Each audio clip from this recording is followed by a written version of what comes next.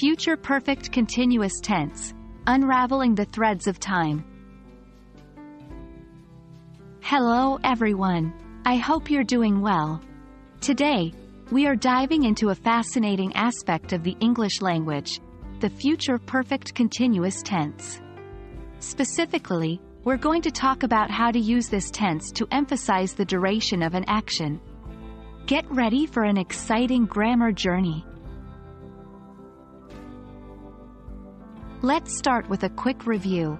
The future perfect continuous tense is used to describe an action that will start in the future, continue for a while, and then end at a specified point in the future.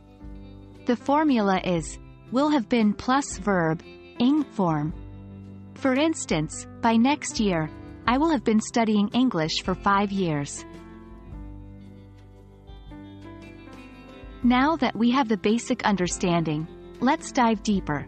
When we want to put emphasis on the length or duration of an action, we use the future perfect continuous tense. This is especially useful when we want to highlight how long something will have been happening once a certain future moment is reached. For example, imagine it's June now and you plan to stay in Paris until August.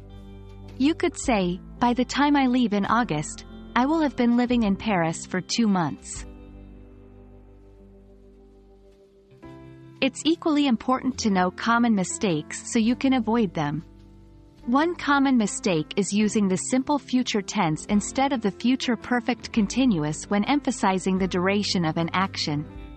For instance, instead of saying, I will live in Paris for two months, which suggests a future plan, you should say, I will have been living in Paris for two months, to emphasize the duration.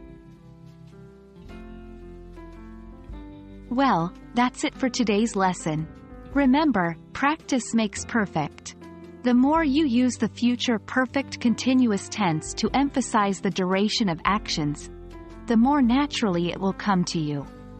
Keep practicing and you'll master it in no time. I hope this video has been helpful and enlightening. See you in our next lesson.